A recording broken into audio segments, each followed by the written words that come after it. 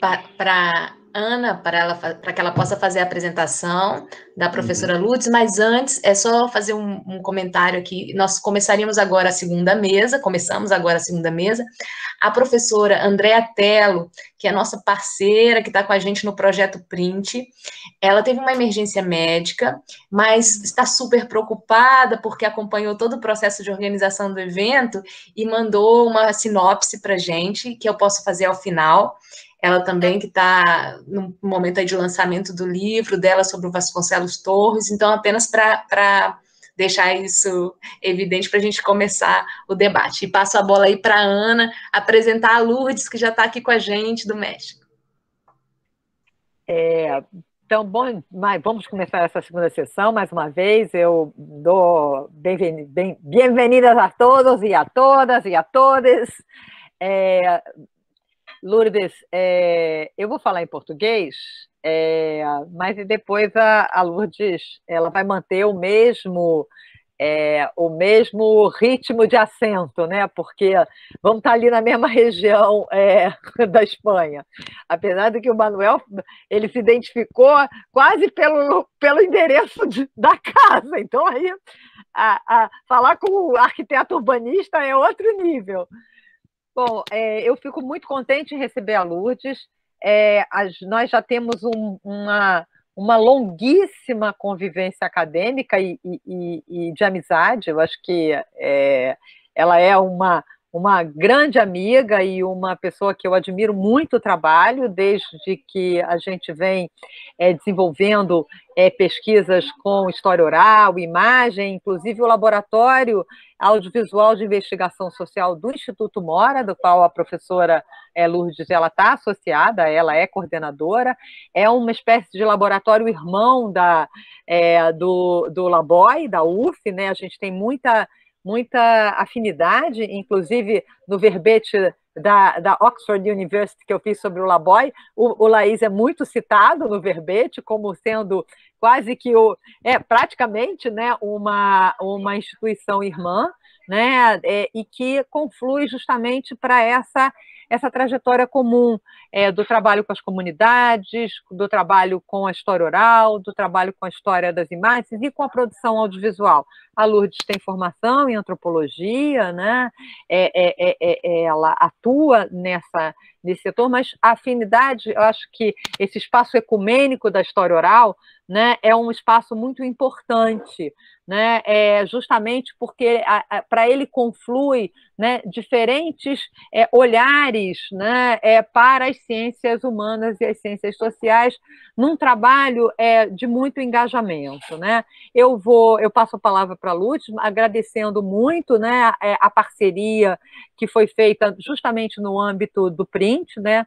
É, acho que a gente, os trabalhos, vocês vão, vão ter oportunidade de ouvir, os trabalhos desenvolvidos é, pela Lourdes e pelo, pela equipe né, do Laís, o Felipe, é, e, e, e, outros pesquisadores também que envolvem, que eu acho que a equipe mudou, né, é, bastante, né, cresceu, é, já vem é, há algum tempo né, trabalhando com essa relação estreita com a cidade. Então, acho que é muito importante a gente ouvir e as afinidades vão ficar é, compartilhadas aqui também com o nosso grupo é, da arquitetura. Lourdes, eu quero, vou passar a palavra para você, eu quero te agradecer muito. Muchas gracias, estimadíssima amiga.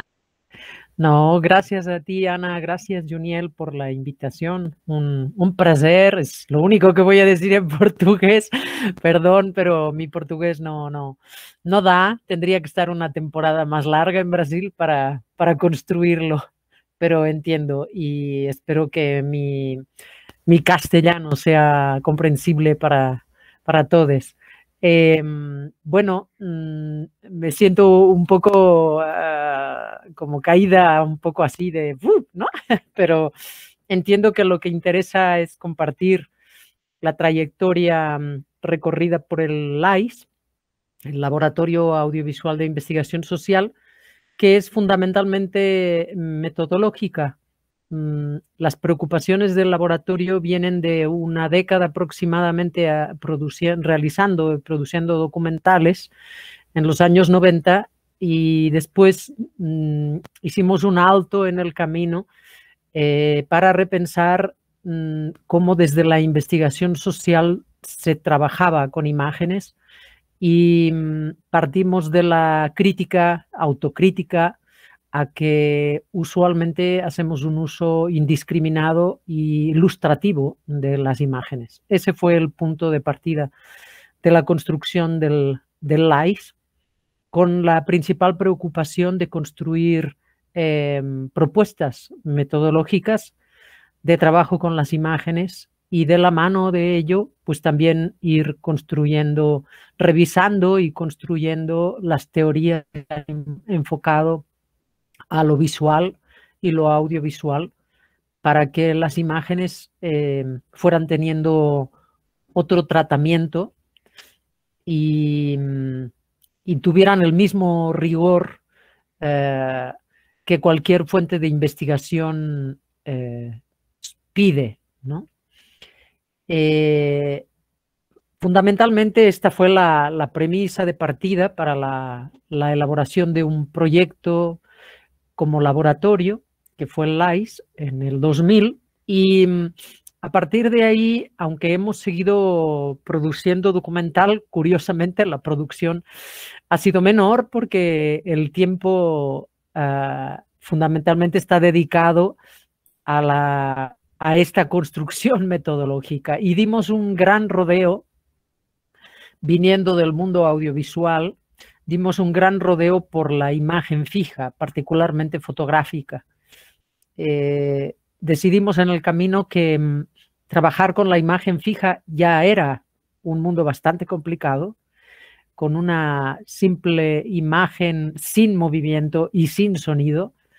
Y después eh, de un largo rodeo de más de una década enfocados fundamentalmente a trabajar con fotografía, decidimos eh, poco a poco retomar el mundo audiovisual. Entonces, bueno, en pocas palabras, mm, creo que hemos llegado después de estas dos décadas como laboratorio a una serie de propuestas, eh, sobre todo de cómo construir a la imagen y a las imágenes, tanto fija como en movimiento y con sonido, como fuentes de investigación.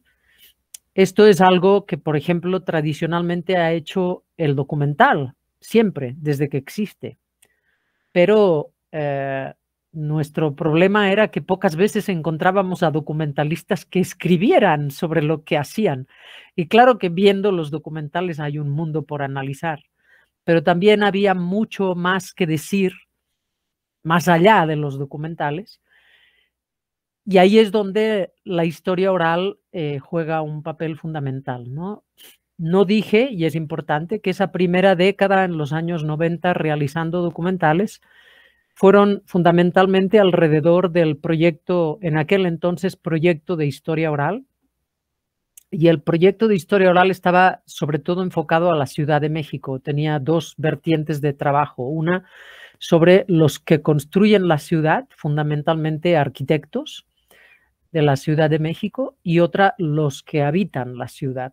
Y eh, las principales experiencias fueron eh, realizando documentales, investigaciones de tres, cuatro, cinco años eh, que incluían desde el principio después, porque al inicio no, al inicio los documentales surgieron una vez estaban terminadas las investigaciones, pero como poco a poco fuimos incorporando esta modalidad de que el documental fuera una, una forma más de presentar los resultados, los últimos proyectos, digamos a partir de 1995, ya eran diseñados con un documental incorporado aparte de los artículos o libros, etcétera, que pretendía la investigación. Y así, por ejemplo, fue como realizamos Mi Multi es Mi Multi, una historia oral del multifamiliar Miguel Alemán, que fue un multifamiliar muy peculiar, construido entre 1947 y 1949,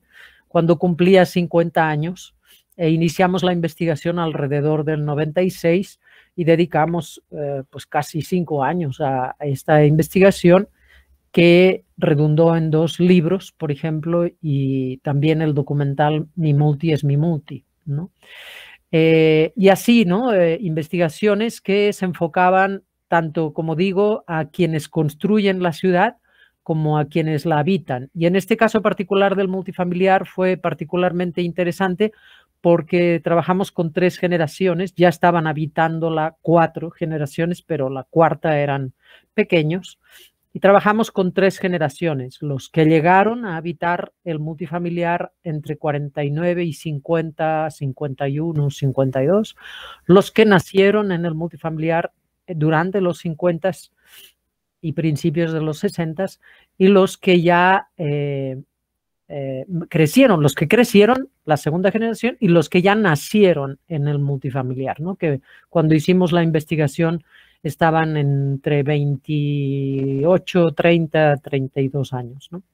Entonces fue muy interesante esta visión y este análisis eh, trigeneracional ¿no? acerca de las experiencias de habitar la modernidad, así lo llamamos, porque era el primer multifamiliar de gran altura, ¿no? 13 niveles en medio de, en una sola manzana, construido por Mario Pani, uno de los arquitectos más importantes en México, con todos los postulados de Le Corbusier, etcétera. Entonces era el funcionalismo arquitectónico puesto a prueba en una gran vivienda colectiva de 1080 departamentos en una sola cuadra es decir, todo un pueblo, ¿no? 6.000, 7.000 personas viviendo en una sola cuadra, que para 1949 pues era algo absolutamente inusitado, ¿no?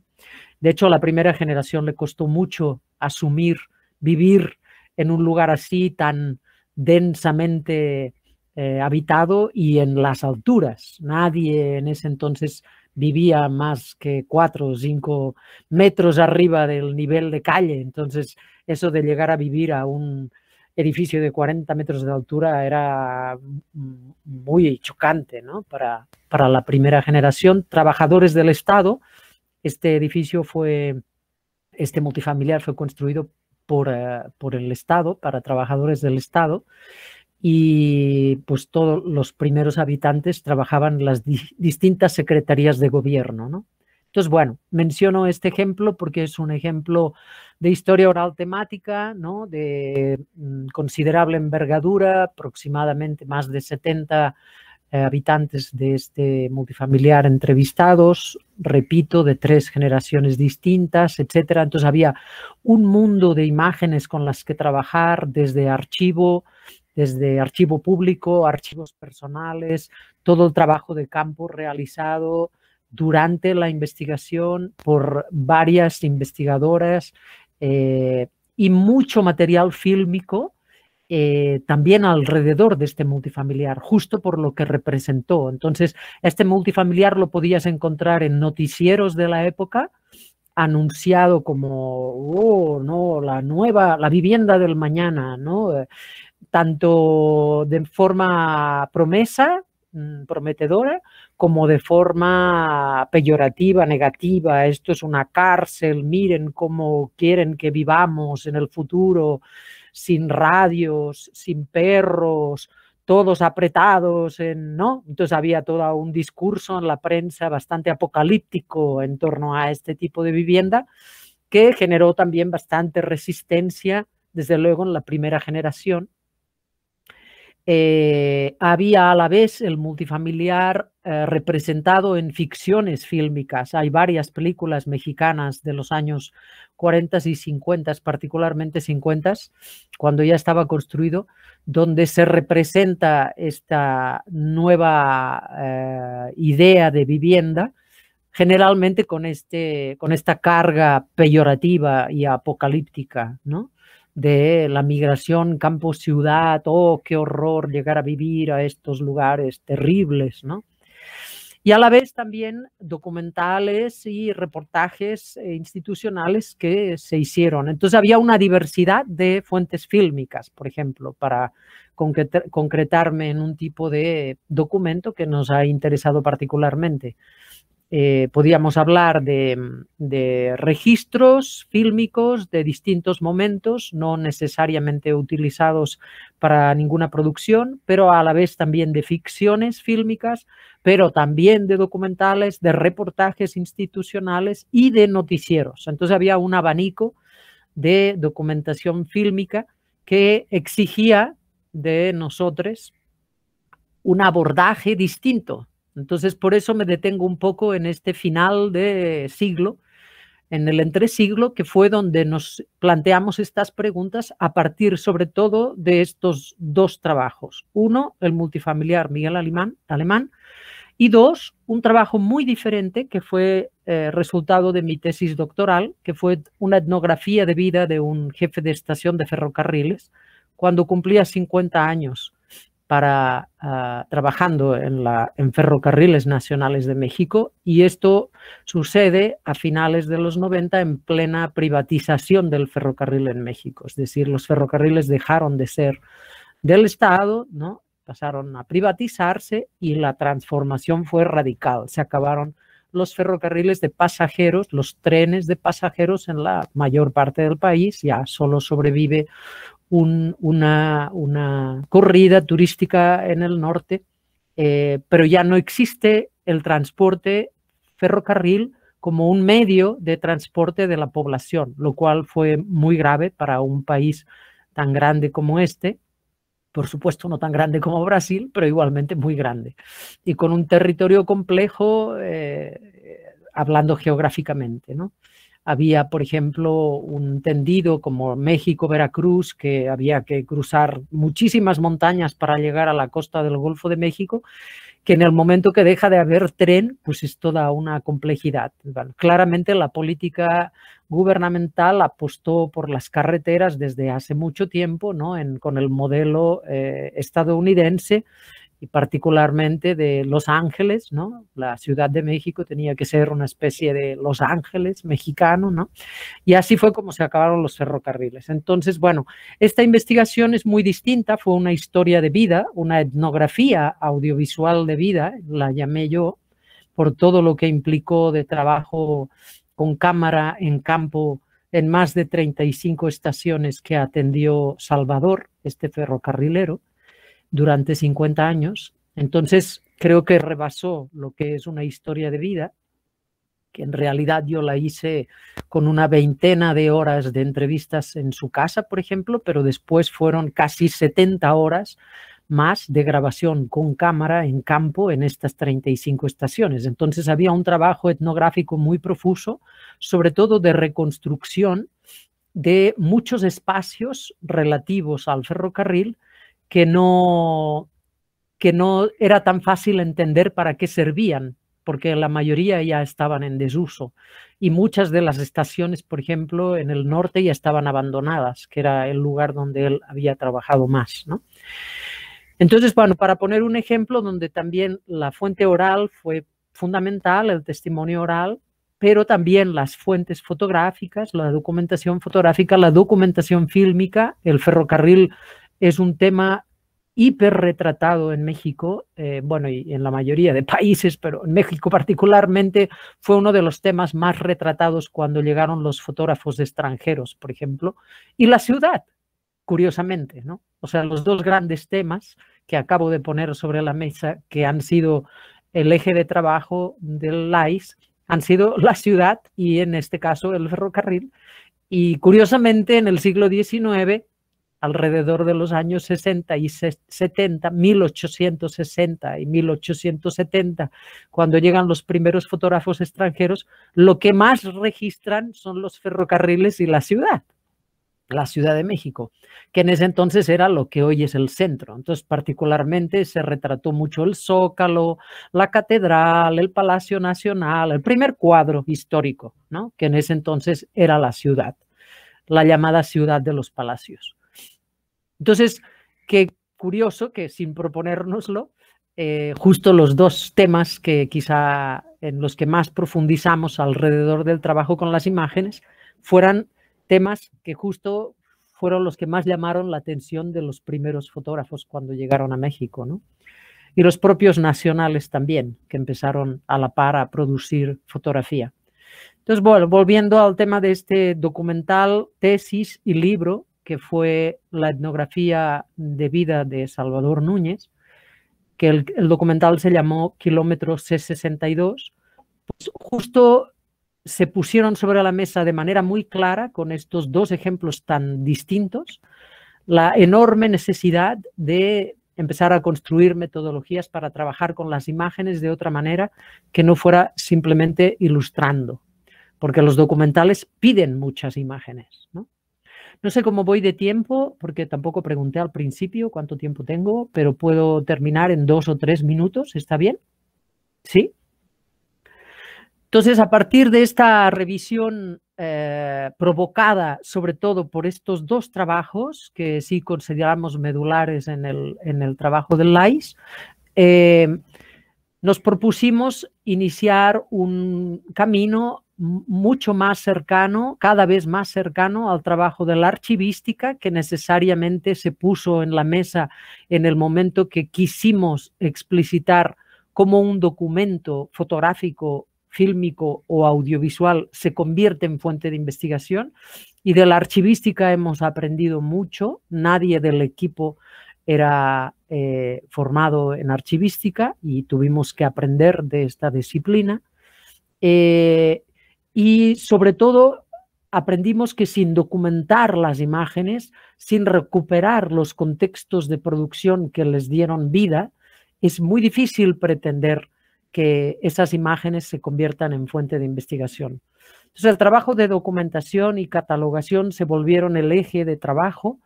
De ahí, por ejemplo, eh, el, el, inicial docudrama que hicimos que se llamó Revelando el rollo, pusiendo poniendo sobre la mesa estas preocupaciones de cómo construir las imágenes como fuentes de investigación.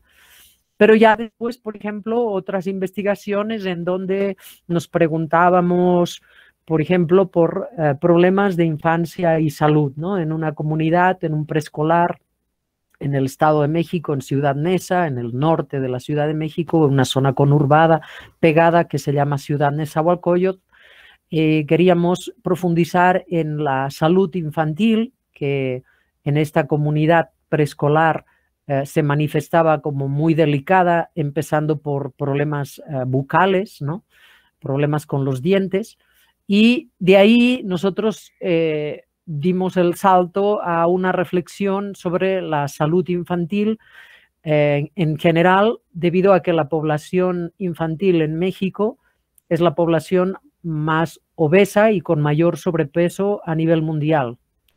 No los adultos, los adultos lo son más en Estados Unidos, pero en México tenemos una población infantil con un gravísimo problema de sobrepeso y obesidad, debido fundamentalmente al enorme sedentarismo, cada vez mayor sedentarismo. Hoy día, en la condición pandémica, esto salió a flote de inmediato, ¿no? los grandes contagios y muertes que hemos tenido en México derivan de esta bomba de tiempo que tenemos desde hace más de tres décadas.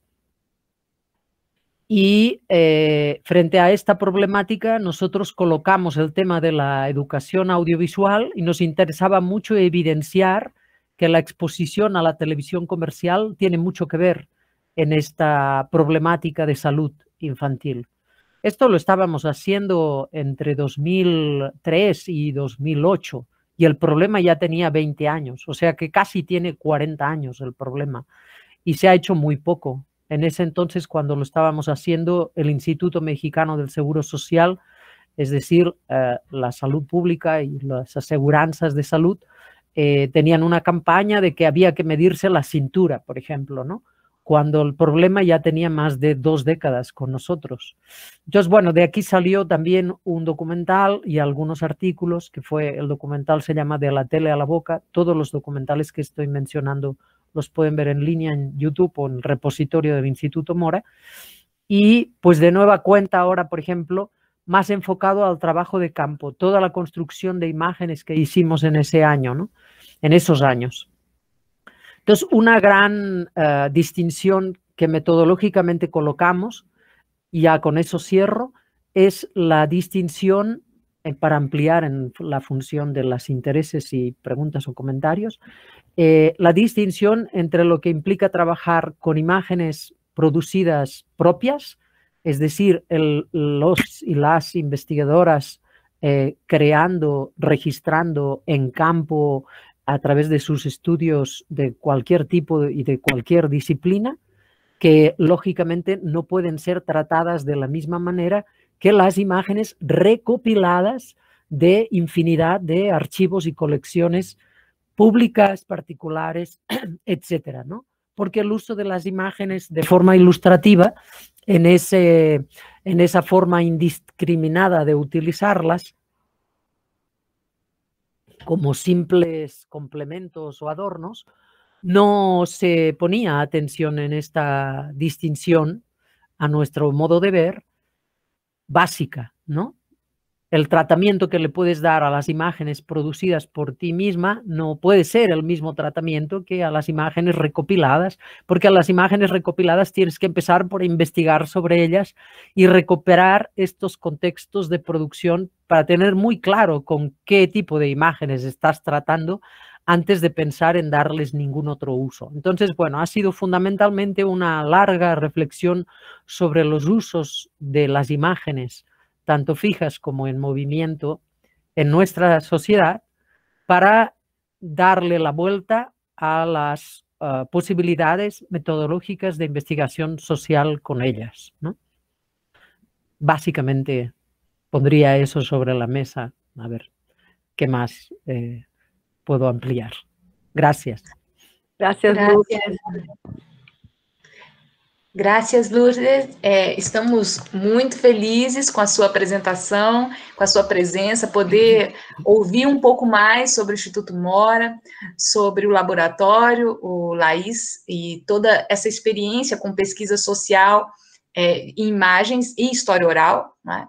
É impressionante, né, como também você fez uma, uma abordagem que traz as discussões também que estávamos fazendo com os colegas da, da arquitetura e urbanismo. Isso foi muito é, importante, bem porque nós casamos duas mesas hoje, Lourdes. Uma que era de narrativas em conflito, né, as questões é, em torno da reno, renovação urbana, e memórias em conflitos, pensando especificamente a pesquisa social com imagens e com imprensa, que seria a fala mais específica da professora Andréa. E então essa junção ela é muito cara para a gente porque estamos pensando de alguma forma essas essas narrativas e essas memórias em movimento, né?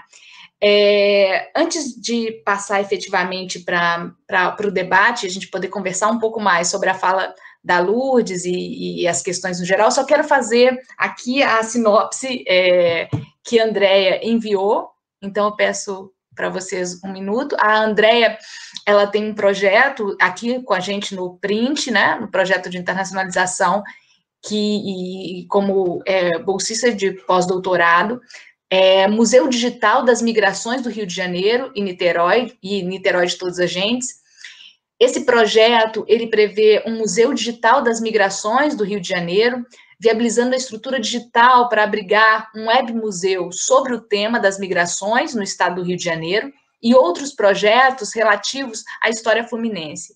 Essa proposta articulava outro projeto, que é esse projetão Niterói de Todos os Agentes, que é coordenado pela professora emérita da UF, a doutora Ismênia de Lima Martins, que também é inscrito no programa de pós-graduação aqui da UF e apoiado pela Secretaria de Cultura da Prefeitura de Niterói. Tá? Então, o Niterói de Todas as Gentes é um projeto que, que inicialmente objetivava o registro das experiências migratórias das comunidades, onde as escolas da rede municipal de ensino estavam inseridas.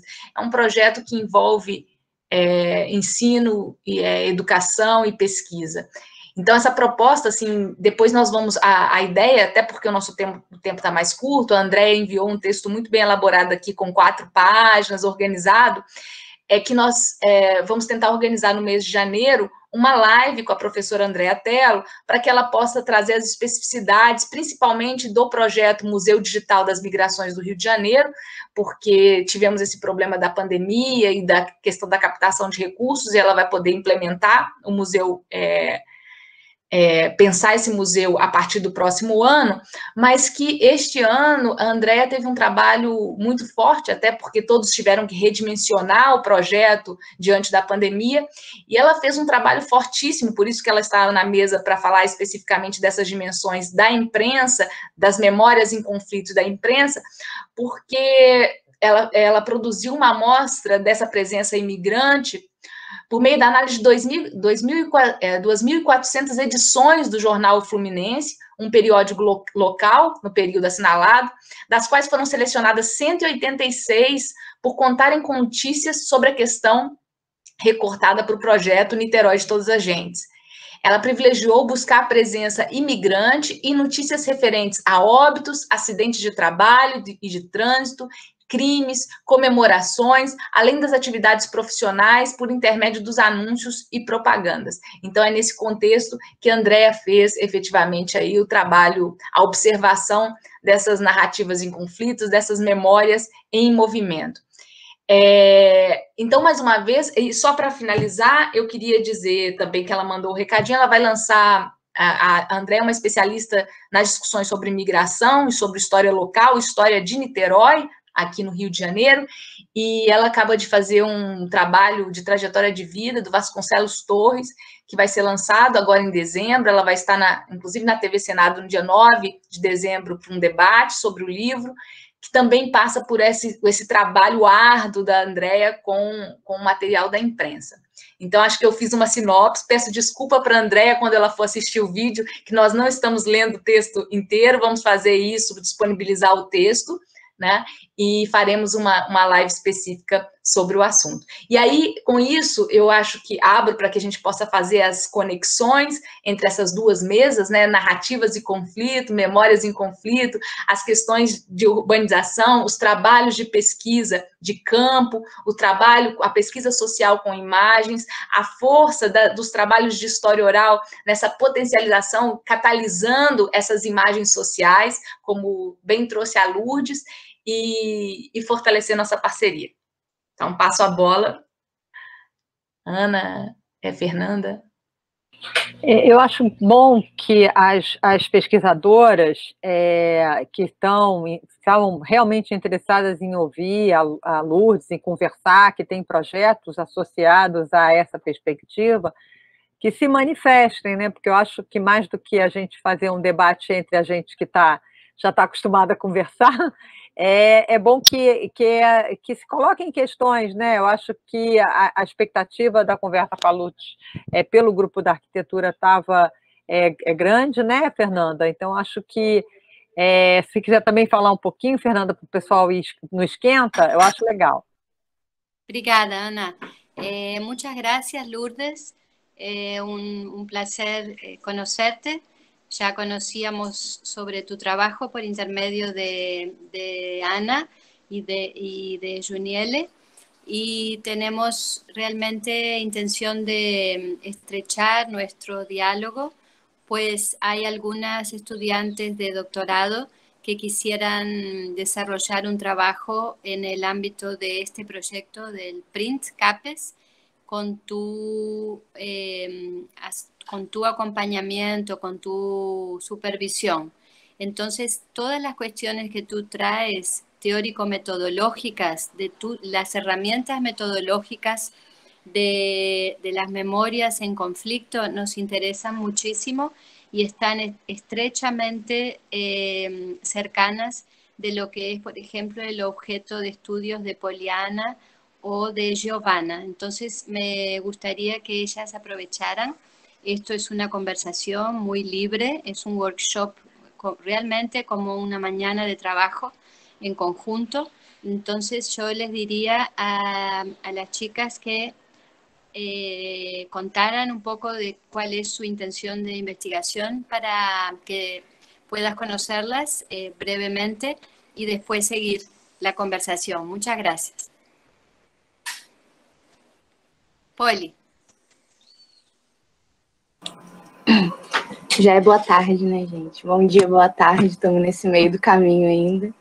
É, queria agradecer muito. A, eu vou falar em português, mas vou tentar falar devagar. Se não me entender, é, sinaliza. É, Queria agradecer muito a Lourdes pela fala dela, porque eu acho que ela traz um devir sobre o que é o processo de pesquisa, sobre acessar certas metodologias e caminhar com a metodologia e ir avaliando, reavaliando as possibilidades dentro das demandas que o mundo apresenta para a gente. E essa perspectiva me encanta, porque eu acho que, para além da urgência da gente de, é, debater as epistemologias e a própria ontologia, né, qual que é o espírito do mundo no, no momento, para a gente fazer pesquisa, a gente tem esse desafio metodológico que está posto.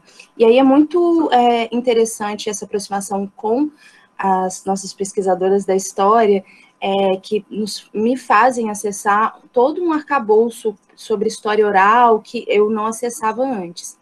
E aí, é, e aí pensando nisso, nessa questão das imagens que você trouxe, e que é, é uma pergunta que você colocou que te instigou durante o seu processo, que é como usar as imagens como meio de investigação. E aí, dentro do meu processo, que eu vou contar um pouco agora, é como usar isso de, uma, de forma sensível.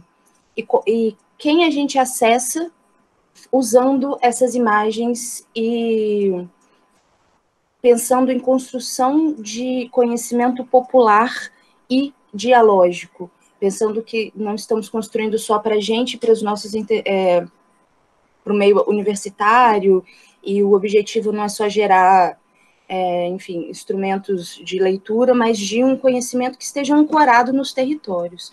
Eu trabalho com mulheres há, há muitos anos, eu é, é, desenvolvo pesquisa numa perspectiva teórica e metodológica, que eu diria feminista, muito aproximada do que a gente chama, eu não sei se é seria igual, mas a gente chama de pesquisa militante por aqui. E dentro do, do, do espaço territorial, que é a Zona Oeste do Rio de Janeiro, na qual eu me incluo, não só como pesquisadora, mas como militante, a gente ainda tem um outro termo que a gente chama de militivo. É, dentro desse processo de pesquisa, que não é só meu, é, enfim, ele é muito coletivo e muito diverso, que passa por, inclusive, instituições, terceiro setor, é, enfim, autarquias do Estado, universidade. Então, assim, tem toda uma, uma, articulação de saberes ali, de sobreposição de ideias e sobreposição de conhecimentos que a gente está trabalhando até chegar, por exemplo, na, na, numa representação cartográfica feita de aquarela. E aí é isso, né? A escolha do, do uma, um, de um fazer pesquisar quase é, artesanal em contraposição uma demanda que a gente tem, que é de uma produção técnica e científica muito quase fordista, né? Dentro de uma linha de produção que a gente replica isso. E aí eu estou trazendo e assim, hoje em dia meu objetivo de pesquisa na minha tese é entender a história da produção do espaço urbano a partir da história das mulheres. E eu tenho a figura da dona Ellen Andrews, que é uma mulher africana, que mora, que foi uma das primeiras ocupantes de uma das maiores ocupações do Rio de Janeiro, que é o Bosque das Caboclas, que em algum momento é Bosque dos Caboclos e se torna Bosque das Caboclas por conta do protagonismo feminino. E a história da Dona Ellen é a história daquele bairro também. E a história daquele bairro e essa coisa multiescalar, né, do local e o global, ele é a história do Rio de Janeiro. E sendo a história do Rio de Janeiro, e aí talvez eu esteja forçando a barra, eu preciso alinhar melhor isso, ele é a história da produção do espaço urbano no Brasil, de diversas formas. E aí, assim, estou tentando tatear, e aí, para além, e aí, assim, estou muito interessada em entender a metodologia da história oral, porque eu quero muito conversar com essa mulher, eu quero muito acessar. Ah, ela é cantora de jazz, gente. Depois, se vocês quiserem, eu mando um vídeo que é, tipo, genial. E aí, como acessar, e aí, é, pensando nessa questão da imagem, pensando com quem que eu quero dialogar, talvez seja isso. Em geral, eu sou um pouco conservadora no método, meio marxista, e aí, tipo assim, vamos ali numa metodologia, embora feminista, uma, uma certa confusão. Como que eu posso acessar uma metodologia é, que passe para um lugar mais sensível do uso da imagem e da história oral para acessar essas mulheres no sentido afetivo também, não só como um produto final, mas como uma construção, uma articulação política que de uma pesquisa posicionada que não tem outro objetivo que não seja a transformação radical da sociedade, assim. Acho que é um pouco falei demais. Obrigada, Luiz. Gracias, Poliana. Muy, muy interesante todo lo que planteas. Me lleva a pensar en varias eh, vertientes más que ampliar, ¿no? ¿Cómo hacer un trabajo, cómo lograr un trabajo más sensible con las imágenes?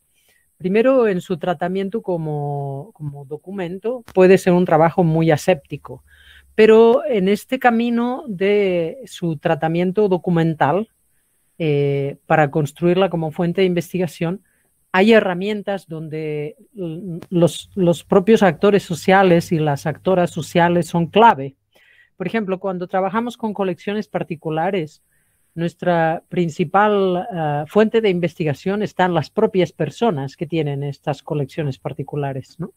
Entonces, en, nuestra experiencia, una herramienta muy importante aquí es la fotoentrevista, o sea, realizar entrevistas de historia oral enfocadas cuando ya has hecho las entrevistas acerca de las experiencias de las personas sobre la temática que te interesa, Después, no la primera vez, pienso yo, es interesante empezar a colocar imágenes para un poco romper, trastocar estas experiencias en la medida en que eh, las personas se encuentran con imágenes de los espacios, los eh, tiempos, las personas con las que han vivido y dónde han vivido a lo largo de diferentes épocas. ¿no? Eh, por ejemplo, de nuevo, el caso del multifamiliar Miguel, Miguel Alemán. ¿no? Cuando nosotros empezamos a utilizar imágenes de archivos públicos y las colocamos con algunos entrevistados, algunas entrevistadas, es muy interesante que surgió completamente otra historia del multifamiliar que sin las imágenes no hubiera salido. Entonces, las imágenes son detonadores de la memoria, claramente, y colocan sobre la mesa nuevas versiones de experiencias y realidades vividas, ¿no? Entonces, bueno, esta preocupación también tuya por la dialógica y por la dialéctica, diría yo, pues está implícita, implícita en esta metodología de trabajo que puede ser la fotoentrevista. Algo muy similar, pero con un documento imagético esa sí es una palabra portuguesa que he importado absolutamente a mi, a mi discurso, porque no existe en español nada similar, es este, la cartografía colaborativa, ¿no? Entonces, como a través de, tú mencionabas las acuarelas, ¿no? O sea, como hay otro tipo de imágenes que también se pueden producir y en mi experiencia, incluso también con alumnos en el aula, es muy interesante trabajar a partir de cartografiar los espacios que habitamos o los espacios que transitamos para estudiar los espacios de otra manera y las relaciones que establecemos con estos espacios de otra manera. No lo dije en mi presentación, pero creo que se puede suponer que uno de los principales temas de trabajo de los proyectos que mencioné y otros justo eran los espacios. Los espacios que nosotros no, no tan conscientemente los colocamos como un tema de estudio, se convirtieron en un tema medular de estudio justo por incorporar a las imágenes como fuentes de investigación. Las imágenes eh, llaman a, una, a este gomotón de ubicuidad que tienen, ¿no? que siempre están ancladas a un lugar, ¿no? y invitan a que trabajes con los espacios de otra manera, ¿no? y sobre todo coloques otras preguntas de investigación que no tan fácilmente surgen si no trabajas con las imágenes. Y sobre todo también porque en las imágenes hay otros actores sociales que no rara vez aparecen o no aparecen tanto en otros documentos, como por ejemplo los escritos. Y estamos hablando justo de mujeres, de niños, de clases subalternas, ¿no? Hay muchas ah, caras de la sociedad, de la población, de cualquier población que la que podamos trabajar, que no necesariamente están ni en la documentación oficial, ni en la documentación escrita. Entonces, en las imágenes es donde muchas veces encontramos estas, ah, estas personas ¿no? y sus experiencias también registradas de otra manera, que no es el testimonio oral. Y una tercera beta que, por tus inquietudes, por tus inquietudes, pienso que sería muy interesante, si no la has explorado y si no, y si sí lo has hecho, eh, profundiza más en ella, es el propio documental. en los documentales, los, los y las documentalistas se nos han adelantado muchas veces a lo largo de la historia en cómo poner en práctica metodologías de trabajo con la población. Y en los propios documentales, históricamente, nos podemos ir hasta los años 30, 20, con, por ejemplo, la producción soviética, por mencionar una, donde las mujeres eran protagónicas, la producción de Siga Bertov y su equipo, ¿no? Este, con Michael Kaufman, por ejemplo, su hermano en cámara, o su pareja Elisabetta Svilova editando. Todo el montaje lo hacía Elisabetta.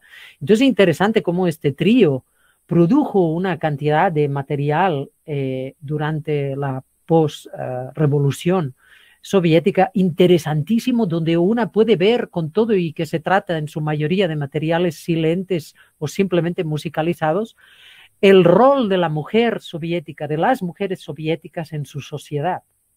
Y no hay ni palabras, apenas unos cuantos intertítulos. Uno puede ver, una puede ver perfectamente el gran papel protagónico, los diversos papeles protagónicos que tenían las mujeres en esta sociedad, ¿no? O, por ejemplo, lo que después harán en los años ya 60, ¿no? El nuevo cine latinoamericano, que pone en uso herramientas sociológicas, pensemos en la Escuela de Santa Fe, por ejemplo, y lo que se hace en un documental como Tire Die, ¿no? Que es una encuesta fílmica y empieza a colocar entrevistas cuando todavía no hay ni sonido sincrónico. O sea, son realmente pioneros de muchas cosas que después en la investigación social nos estamos planteando hacer. Entonces, volver al documental, eh, incluso al documental de décadas atrás, como un documento en el que mm, decodificar, deconstruir cómo están elaborados, porque cada uno de estos documentalistas a su vez también estaba haciendo una investigación y en esencia una investigación audiovisual, me parece también una beta muy interesante a explorar desde cualquier disciplina de la investigación social. Por ahora lo dejaría aquí. Gracias, Lourdes. Creo que Giovanna quisiera también eh, contar un poco de su investigación. Giovanna. Sim. É, bom, gostaria de agradecer, primeiramente, estou super contente aqui com essa mesa com a Lourdes, ter a oportunidade de ouvi-la um pouco, é, e queria compartilhar também um pouco do, do, meu processo de pesquisa no doutorado, que, enfim, tem, tem sido, na verdade, esse, esse contato, né, com com as professoras né, do, do Labó, enfim, já, já tem sido bastante frutífero no, uh, desde o, o, ano passado, ao longo desse tempo, e minha aproximação também com né, as metodologias da, da história tem me feito refletir bastante e até redimensionar algumas coisas da minha pesquisa, né, da, da proposta inicial, e tem sido muito, muito rico, assim.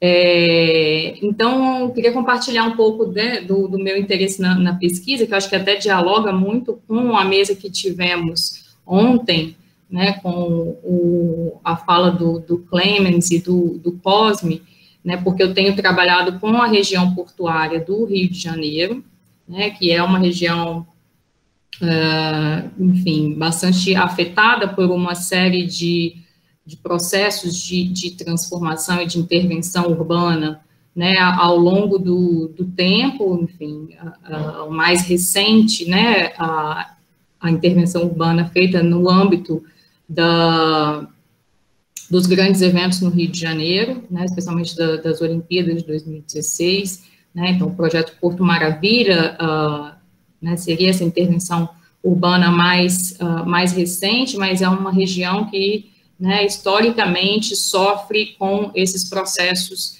né, de intervenções uh, de grande porte, enfim, uh, que ocorrem muito nesse, nesse processo uh, de estabelecer rupturas né, na, no, no, espaço, né, um pouco que através da, da, do urbanismo é, demarcar né, esses processos de modernização. Né, é, outra grande intervenção que, que, que houve no início do, do, século XX, né, a própria modernização do, do porto, uh, enfim, e, e, e processos bastante marcados por é, tentativas, né, ou de fato remoções forçadas de, de populações, né, uma área que é muito marcada uh, pela população é, negra, né, afrodescendente, uh, como habitantes da, da, região, é nessa região que se encontra o Cais do Valong, que tem todo um, um, uma memória, uma história relacionada, né, aos escravizados, é, e o que eu tenho buscado, uh, tenho imaginado trabalhar, né, tem, a pesquisa tem se delineado um pouco nesse sentido, que é de, uh, enfim, também toca essa questão, né, das disputas de narrativas e, e das próprias narrativas históricas, né, que acabam uh, delineando e é, visibilizando e invisibilizando umas e outras coisas, né, é, e, e afetando, inclusive, a, a construção da, da, memória coletiva e a, e a, e a história da, da, cidade, né, dessa região, especificamente do Rio de Janeiro. É, e tem me interessado muito, né, esse trabalho com a fotografia, né, tendo em vista que a fotografia, ela, ela é, é tem sido utilizada, né, como é, potencial, eh, enfim, construções feitas para potencializar esses discursos dominantes, né? Eh, no início do século XX, a gente teve uma coleção, uma grande coleção de fotografias produzidas né, na, no, no, âmbito da administração pública, né, é, pelo fotógrafo Augusto Malta, uma coleção bastante é, conhecida, no sentido de justamente demarcar e mostrar através da fotografia essa modernização da cidade, né, e ao passo que uh, outras uh, outras construções e outras memórias associadas a esse espaço acabam sendo apagadas, né? Recentemente, a mesma coisa com, com o projeto da Cidade Olímpica, né? É, a construção de, de, imagens, de fotografias, a produção de fotografias para, né, é, divulgar essa imagem de, do Rio, né, como cidade maravilhosa, cidade olímpica, né, ao passo que outras coisas estavam acontecendo por trás disso, né, e sendo invisibilizadas. E algo que me chama atenção é que nessa região, uh, na região portuária, né, uh, de algumas décadas para cá, né, eu diria da década de 90 para cá, é, a gente tem observado uma, um processo né, de, de produção de imagens feitas pelos próprios habitantes, né, muito nesse processo né, de, de luta e de agência transformadora que a gente comentou na mesa de ontem. Né, a gente falou na mesa de ontem sobre uh, um, um, movimento grande que teve agora nesse ano no contexto da pandemia, né, de agentes culturais, da, moradores da, da região, né, que se mobilizaram, enfim, para contornar a falta de, de políticas públicas, né, e de dentro desse contexto da pandemia, né? E associado a esse próprio projeto, né, a gente viu ontem um, um vídeo na, na, mesa, né, e a gente vê né, uma, uma, é, uma geração assim de, de, fotógrafos da, do Morro da Providência, né, é, se formando desde das últimas décadas e, e produzindo essas imagens com esse olhar né, bastante associado aos movimentos sociais, né, esse olhar engajado né, do morador e justamente atuando nessa disputa das narrativas e nessa, e nessa luta, enfim, por uh, é, fazer valer a, a, memória e a história dos moradores da, da região. Né? Então, enfim, tem me interessado é, trabalhar nesse diálogo né, com uh, uh, essa produção de imagens né, feita ali pelos moradores em oposição e em disputa a essas narrativas né, é, imagéticas, enfim, produzidas pelo Estado nessas distintas fases aí de, de transformação urbana dessa região. É isso. Acho que falei um pouco demais também. Mas, enfim, estou super feliz com essa mesa e com essa possibilidade de diálogo aqui. Obrigada, Gil. É... Lourdes. sí, eh, gracias Giovanna, muy, interesante. Bueno, desde luego sobre las preocupaciones e investigaciones acerca de lo urbano y las ciudades, bueno, las imágenes se abren como un mundo enorme de posibilidades, ¿no? Así fue como nosotros empezamos en esto, eh, como ya dije, haciendo documentales acerca de investigaciones urbanas y justo el gran detonador fue cuando tú haces investigaciones sobre el tema urbano, las imágenes, aunque no las busques, salen, inmediatamente salen. Es un documento que tradicionalmente forma parte de las ciudades desde que, desde que existen, ¿no? Desde que existe la fotografía, la fotografía va hermanada con las ciudades, ¿no? ¿Qué tipo de registros urbanos no, han sido fotográficos? ¿no? Entonces, está desde en los registros de obra, de construcción, de disfrute y aspectos lúdicos de la ciudad, de turismo, de expresiones de manifestación y de protesta de las ciudades, de, o sea, en torno a todo, ¿no? Y claro, una gran, una gran fuente de imágenes es la parte hemerográfica, ¿no? La prensa. La prensa ha sido, pues, tradicionalmente una gran productora de imágenes y ahí hay un mundo por explorar para los investigadores sociales. Bueno, y el Lavoy lo, lo sabe muy bien porque ha dedicado gran parte de, su trabajo justo a las imágenes fotoperiodísticas, ¿no? Eh, los fotógrafos, ya que los mencionas, los fotógrafos son todo otro ámbito todavía con muchos pendientes de investigación. Los fotógrafos, así como los documentalistas, no son tradicionalmente gente que deje por escrito cómo y por qué hace las cosas. Y digo cómo y por qué con toda la intención, porque cuando queremos construir a las imágenes como documentos, las preguntas básicas son las que le haces a cualquier documento. ¿Qué? ¿Quién? ¿Dónde? ¿Cuándo? ¿Y por qué? ¿No? Entonces, muchas veces sobre las imágenes lo que no sabemos es el cómo y por qué, ¿no? Entonces, preguntarnos sobre el cómo y el por qué en el mundo de la producción fotográfica y en el mundo de la producción audiovisual es muy importante para alimentar nuestras propuestas también metodológicas y teóricas. ¿no? Eh, yo mencionaría, por ejemplo, el importante trabajo hecho también por espacios como el Museo Paulista, ¿no? cuando hagan una revisión eh, eh, de Huellas de Luz, un site que producimos hace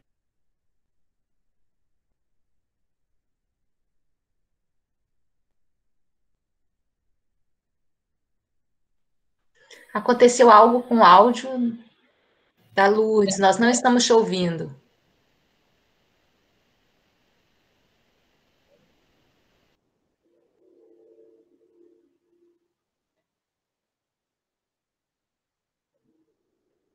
Ela vai sair e vai entrar de novo, porque eu acho que é, deve ter sido problema da conexão.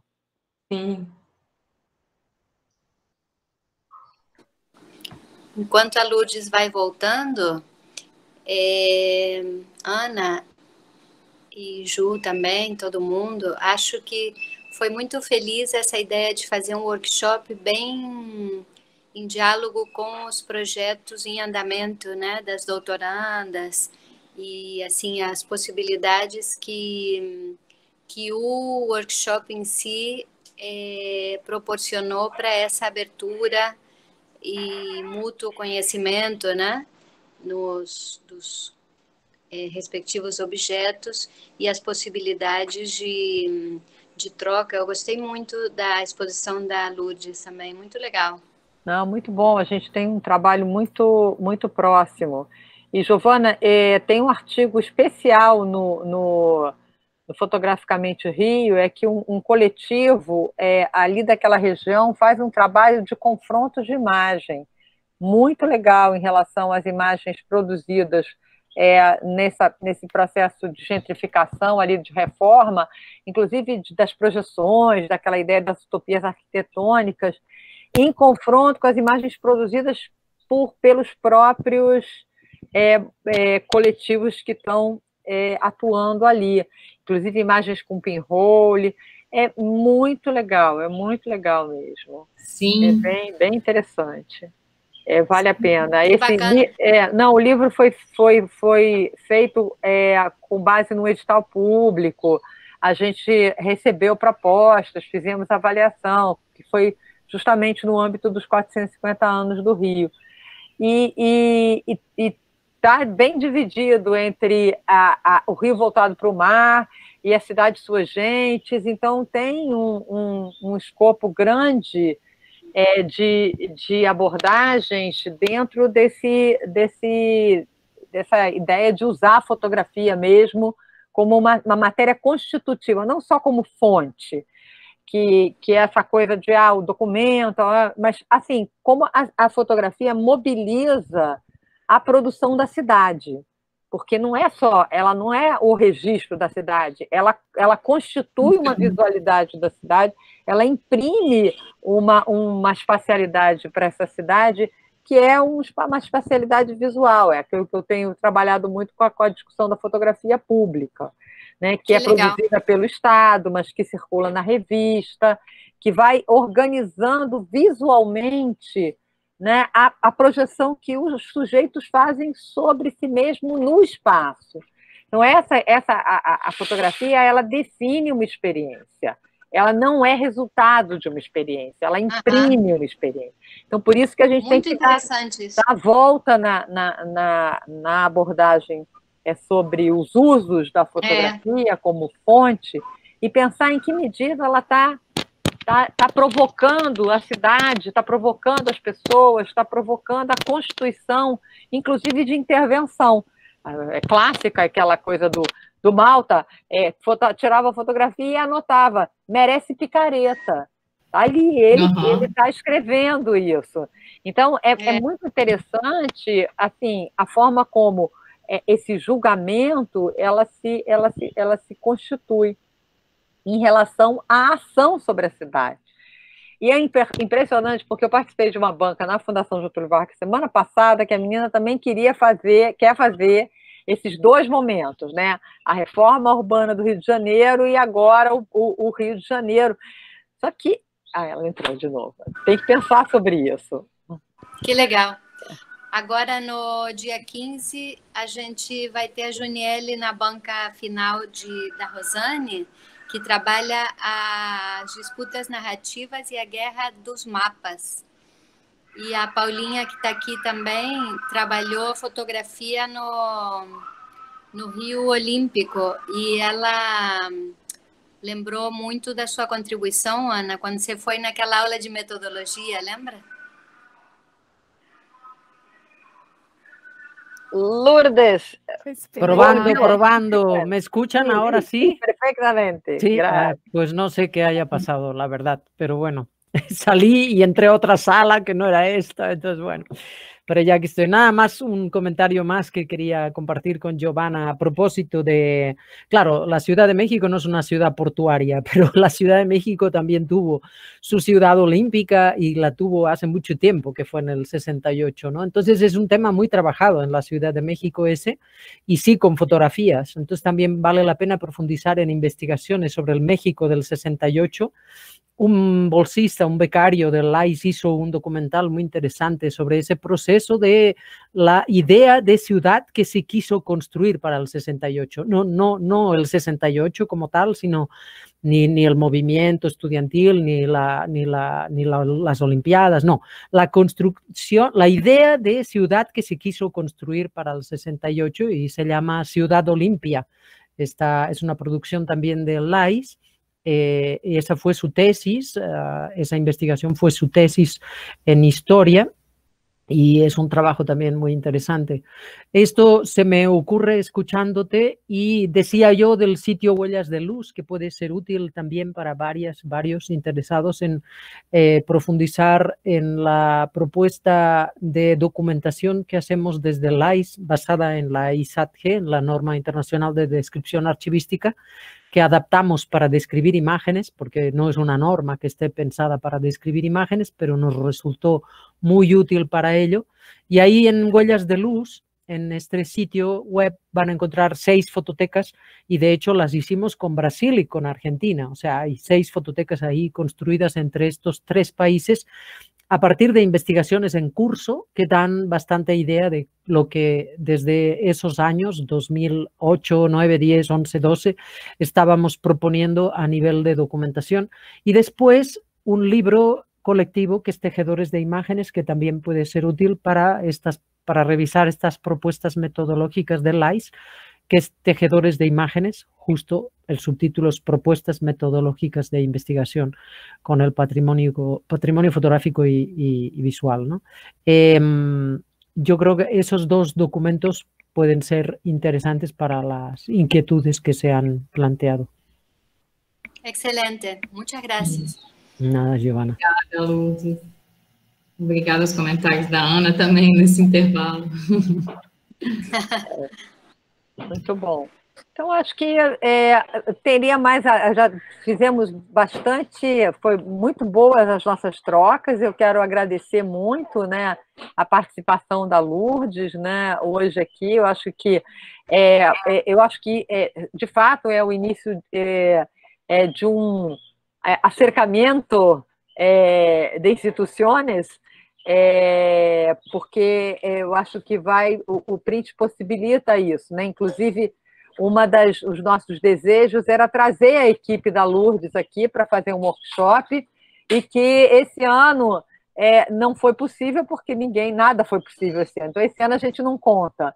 A gente tem que contar a partir do ano que vem para ver se a gente vai fazer é, trazer o pessoal para cá para fazer um workshop e a gente poder é, pessoalmente compartilhar essa, essa, essa, essas metodologias, né?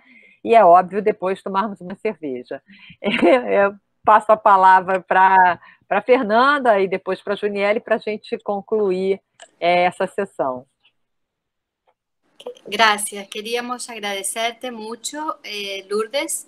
Eh, estábamos muy inquietas y, y, contentas frente a la posibilidad de este, de este tipo de diálogo en este evento del Print CAPES. Y bueno, me, resultó muy bueno eh, sentirte y conocer más del trabajo metodológico muy interesante que, han, que has hecho en el LAIS, además de tus recomendaciones de, de que busquemos el sitio Huellas de Luz, Tejedores de Imágenes y, las, y lo que nos has mostrado que nos acerca más hacia tu trabajo. Y bueno, y Poliana y Giovanna haber podido presentar brevemente aquí sus inquietaciones, sus inquietudes para que tú las conozcas y tenemos la intención de que puedan seguir en sus estudios en la beca Sandwich, como se dice aquí, que es una modalidad de beca que tenemos por el proyecto para seis meses de pasantía que, probablemente van a intentar en el Instituto Mora con tu supervisión, si el mundo nos permite, si la pandemia nos permite también. Muchas gracias. Também quero agradecer imensamente a Lourdes. Querida Lourdes, olha, Laboy e Lais absolutamente juntos e estou muito feliz agora com o pessoal da arquitetura e urbanismo com projetos tão catalisadores e fortes, é, que faz isso que a gente acredita muito, que é essa escuta sensível dessas narrativas, né, dessas memórias, e ao mesmo tempo essa busca de conexão entre história oral e imagem, e a, a, a força mesmo das imagens para potencializar memórias, para reverberar memórias, para a construção de memórias. E, e essa conexão com com o, próprio direito à cidade, as intervenções urbanas, tudo que Manuel Delgado trouxe também para a gente na primeira mesa, é, faz todo sentido, e estamos aqui atentos às narrativas, às memórias, a esse movimento, e agradeço muito, é, nós vamos, o Marcos Oliveira, que é nosso super parceiro do Laboy, que está subindo o material, é, para o canal do YouTube do Laboy, que obviamente vai estar sendo compartilhado com os outros núcleos e laboratórios parceiros. Também já agradeço o Marcos aqui, porque esperamos aí em breve este vídeo já está lá, com a fala da Luz, do Manuel. A, a, a, passa a palavra para o Nilton também é, finalizar, desculpa. Queria ter. Não, olha, nada, agradecer a Lourdes também pela, pela fala, né, pela, pela exposição que fez, foi muito rica. Eu, todos nós aqui aprendemos um pouco, ou muito, não? E só agradecer mesmo para Lourdes pela sua presença. Eu acho que o, o workshop foi muito rico, né? apresentando experiências diversas e, e aportando contribuições fundamentais. Obrigado. Muito obrigada. Também agradecer Paula pelo, pela identidade visual. Desculpa, Lourdes. Não, não, não.